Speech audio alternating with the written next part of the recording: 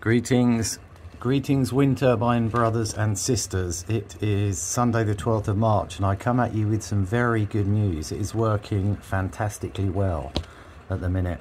What had happened is I had lots of problems with it. The wooden blocks have not helped at all and I need to really remove them and just run it with the bigger gear instead of worrying about being able to swap them over.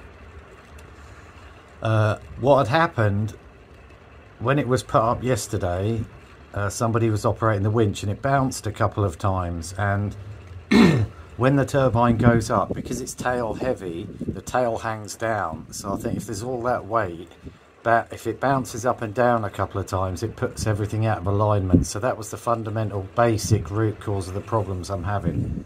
Oh, brakes, come on. Uh, the other thing is I've got problems with my other camera, but I just want to show you how well it's working. Uh, it's going to be super windy the next couple of days. And this is saying about, the weather is actually saying uh, 14 miles per hour. But we'll just leave it, see if the brake comes on again.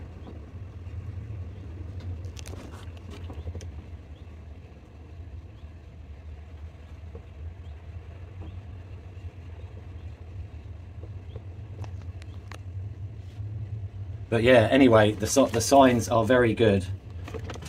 I'm not 100% sure about this thing, with it being super windy tomorrow and it only being rated for 30 amps.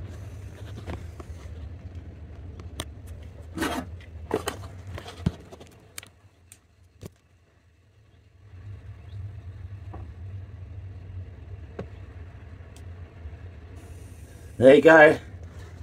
My friends, she is working a treat and these moments make all the hard work worthwhile because it has been a lot of hard work. There's a brake on again. When I rebuild a new turbine I'm going to take all these lessons and one of the things will be that I'm going to build a proper frame that the motor can bolt onto the turbine and then can be moved backwards and forwards. But yeah, this thing but this thing is working an absolute treat look straight up to 500 watts.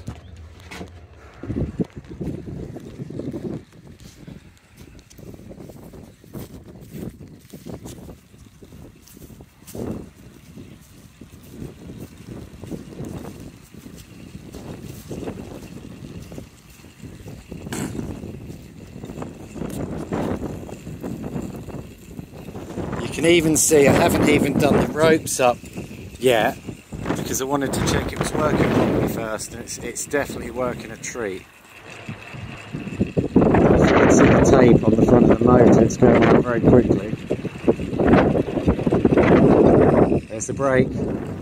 But my friends, it's working a treat, so thank you to all the subscribers who keep watching uh, with uh, mistake after mistake, etc. But now it's, it's starting to really come good, so peace, I'll see you very soon, cheers!